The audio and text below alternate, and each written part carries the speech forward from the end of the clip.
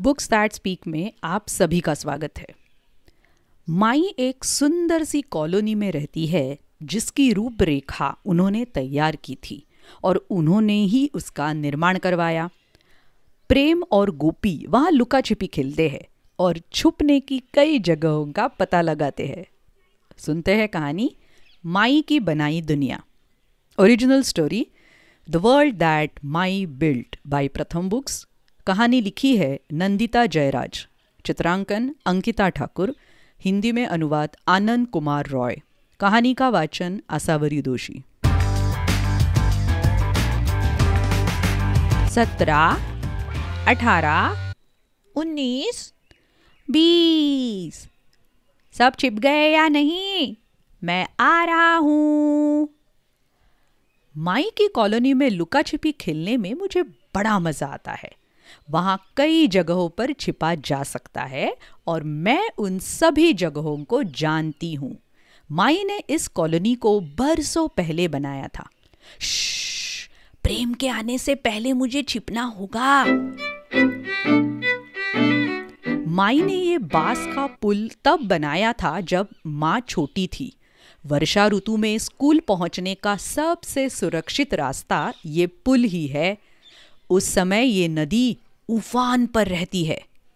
अब तो गर्मी का मौसम है और नदी लगभग सूख चुकी है, इसलिए छिपने के लिए इस पुल के नीचे की जगह बड़ी अच्छी है। लेकिन मकड़ी के जालों की वजह से आपको छींक आ सकती है। अच्छी। ओहो, लगता है प्रेम ने मेरी आवाज़ सुन ली। इस झरोके से सब कुछ दिखता है। मैं पालम माँ को, गायों को चारा देते हुए देख सकती हूँ। हमने फूस की उस गौशाला को पिछले साल बनाया था। माई ने हमें मिट्टी, फूस और चूने को मिलाना सिखाया था। प्रेम और मेरे हाथ मिट्टी से सन गए थे। आह ही ही चीटी ने मेरे पीछे काट लिया। कोई नई जगह ढूंढनी पड़ेगी। ये लाइब्रेरी हमारी पसंदीदा जगह है। इसकी पवन मीनार मुझे बहुत पसंद है। माई ने इसे गर्म हवा बाहर निकालने के लिए बनाया था, जिससे लाइब्रेरी और किताबें हमेशा ठंडी रहे। प्रेम इधर ही आ रहा है। माई के दफ्तर के इस स्टोर रूम में प्रेम मुझे कभी नहीं ढूंढ पाएगा। ये दफ्तर माई की बनाई पहली इमारत है। इसकी छत पर उन्होंने रोशनदान बनाया था, जिससे धूप भीतर आ सके। इस ताक पर माई की पुरानी चीज़ें रखी है। इस तस्वीर में वो कितनी छोटी लग रही है, और ये चित्र उन्होंने नए घर के लिए बनाए हैं। माई इन्हें ब्लूप्रिंट, यानी खाका कहती है। ओहो, मुझे प्रेम के घुंघरू की रुंझुन सुनाई दे रही है। स्टोर रूम का दरवाज़ा खुल रहा है। धप्पा। गोपी, मैंने तुम्हें पकड़ लिया।